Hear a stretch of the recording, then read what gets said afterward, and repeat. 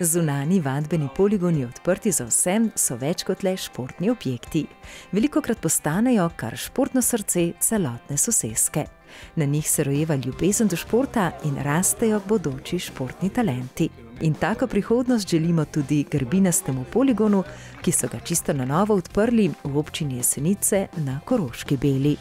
Pa, pa posebej veseli, da, da z našim partnerjem. Eh, Akronijem in pa Sijem kot generalnim pokroviteljem eh, Olimpijskega komiteja iščemo te projekte in jih tudi potem uspešno realiziramo. Regijska pisarna je namenjena tudi temu, da spodbujamo te dejavnosti in da posebej na področju športa za vse naredimo čim več, da, da čim več otrok spravimo na športne objekte. In to vodilo je med dvema dolgoletnima partnerjema, Olimpijskim komitejem Slovenije, Združenjem športnih zvez in slovensko industrijo jekla, ki že vse od leta 2014 širom po Sloveniji s skupnimi močmi in znanjem uspešno postavljata zunanje jeklene vadbene poligone, pred dvema letoma porodilo idejo, da svoje sodelovanje razširita. In tako so nastali inovativni trajnostni grbinasti poligoni, pri katerih del naravnih materijalov zamenjajo žlindro, ki kot stranski produkt ostaja pri proizvodnji jekla. Lastnost žlindre je, da je težja od naravnih kamenin, to je ena bolj.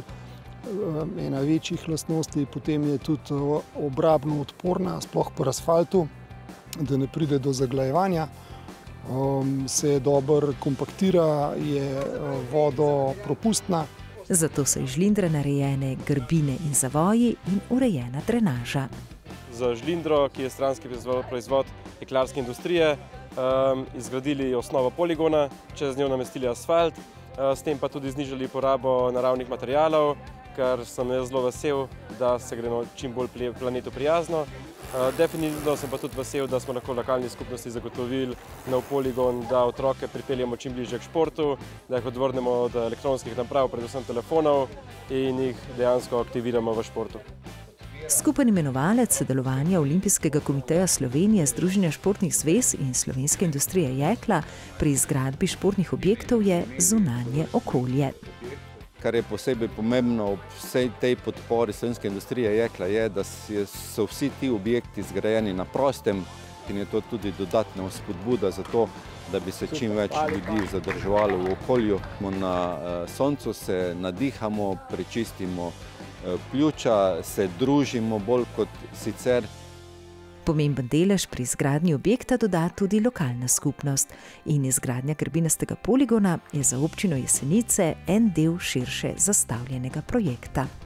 V Sošeščini je v, v delu uh, nekoč že obstoječ rekreacijski center Kres in z pomočjo Kronja in pa seveda občine računamo, da, da ga bomo uh, spomladi prihodnje leto tudi predali občanom v uporabo. Lokalni prebivalci bodo imeli krasen objekt za rekreacijo.